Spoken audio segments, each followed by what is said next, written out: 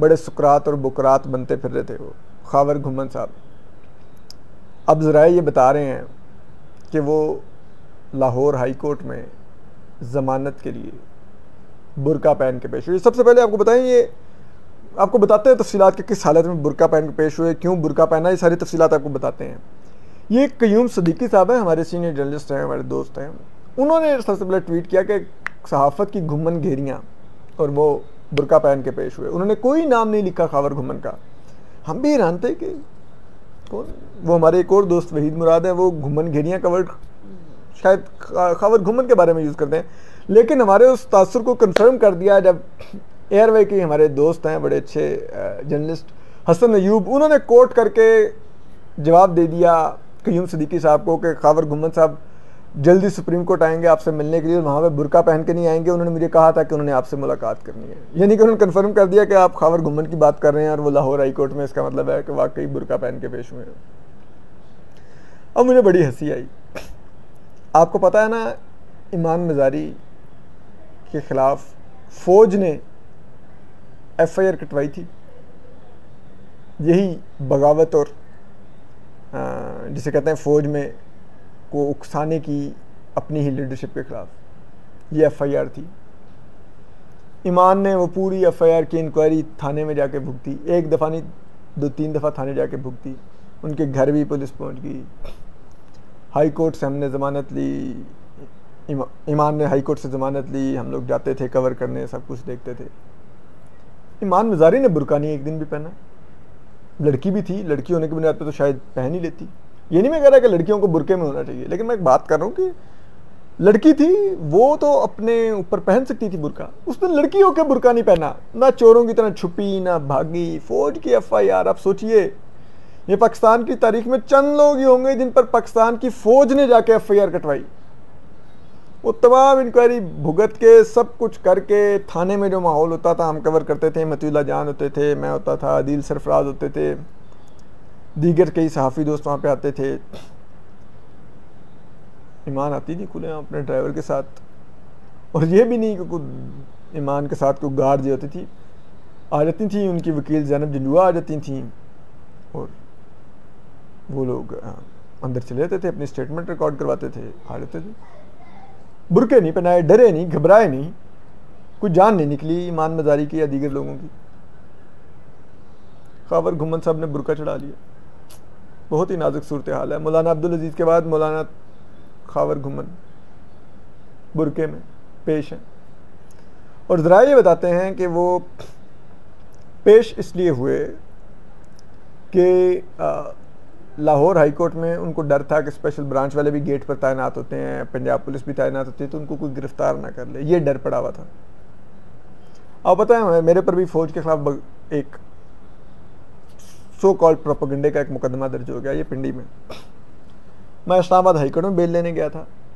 कोई बुरका नहीं पहना हुआ था। मेरे लॉयर्स ने मुझे कहा बस ठीक है सिंकल अब आ जाए चले जाएँगे। उमर गिलानी और वो थे हैदर इम्तियाज़। में गया बेल ले ली। हमने इस्लामाबाद हाई कोर्ट से मौजूद चीफ जस्टिस अतर मंडला की अदालत से। फिर हम पिंडी रजिस्ट्री में लाहौर हाई कोर्ट की पेश होते रहे। हम आ, पिंडी की लोअर कोर्ट में पेश होते रहे। यही हैदर इम्तियाज़ उमर गिलानी ईमान मज़ारी सिकंदर नईम काजी रमशा कामरान, यही लोग मेरे लायर्स थे लोअर कोर्ट में। हम सारे जाते थे ना, मैंने कभी भी कोई इस किस्म की हरकत की थी, मुँह छुपाने वाली, कि इवन के चलो कोरोना मास्क में यूँ करके तो फिर लेता नहीं। कुछ नहीं, जाते थे, अपना खड़ा होते थे, अपना मौकफ देते थे आर्गूमेंट्स होते थे, आ जाते थे। दैट इज़ इट ये इतने बड़े सुकरात और मुजाहिद बनते हैं। हमने तो गद्दारी के इल्ज़ाम लगाए, आज भी इस शहर में घूम रहे हैं। उठते हैं, बैठते हैं, खाते पीते हैं। कोई घबराते नहीं हैं इन चीज़ों में। मिलते हैं, सब दोस्तों के साथ बाहर पब्लिक प्लेसेस में भी बैठते हैं। ठीक है? छुपे नहीं। क्या कुछ नहीं हुआ हमारे साथ, छुपे नहीं। मतीउल्ला जान अगवा हुए, आज भी इधर ही घूमते हैं। बुरके में नहीं उन्होंने घूमना शुरू किया, छुपना शुरू किया। अफसार आलम साहब ने गोली खाई। इधर ही घूमते हैं, बुरके में नहीं फिर रहे ओपनली घूमते हैं। हामिद मीर साहब छः गोलियाँ खाई, दो आज भी जिसम में लेके घूम रहे हैं। इधर ही घूमते हैं, बुरके में नहीं छुपे। उमर चीमा साहब, बदतरीन तशद 2011 में सहा। इधर ही घूमते हैं, बुरके में नहीं हैं। आप आ जाइए उनको कामरान यूसुफ, वो भी अगेन अगवा हुए। इधर ही हैं सहाफ़त कर रहे हैं बुरके में नहीं घूमते। एजाज सैद के घर पर आ, फायरिंग हुई।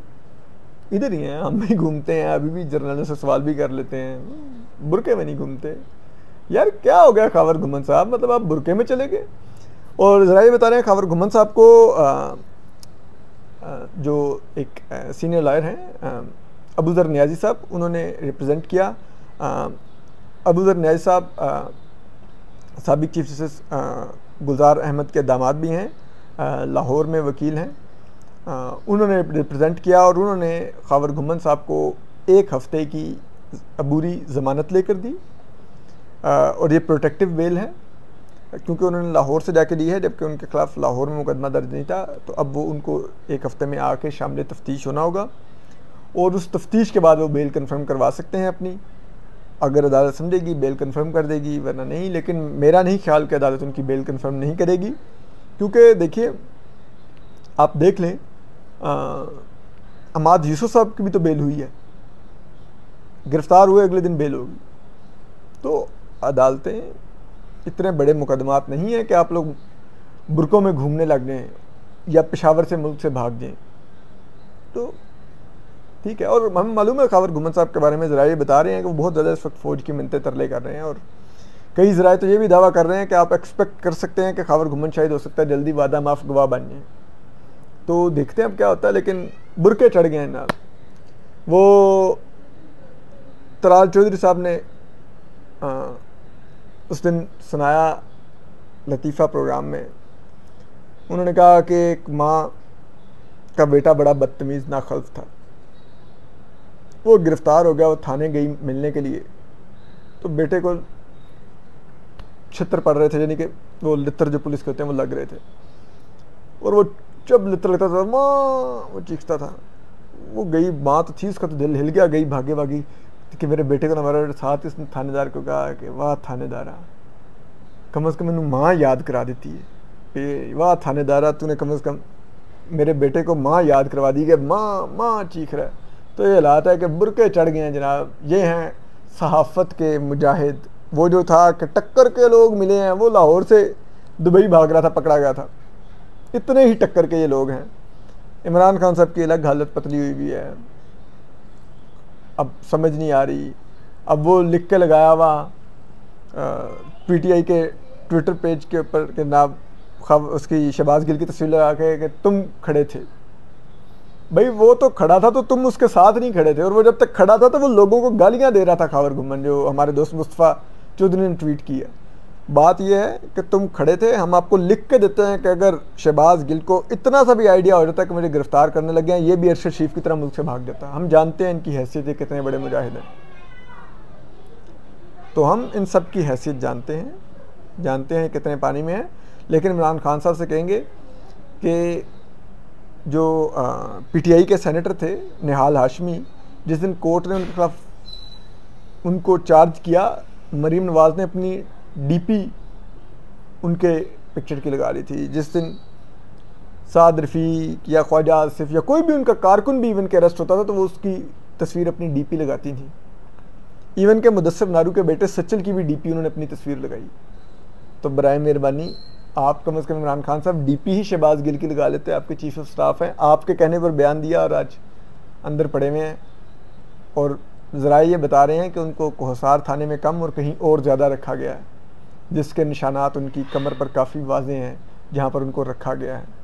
और हालत यह है कि पीटीआई में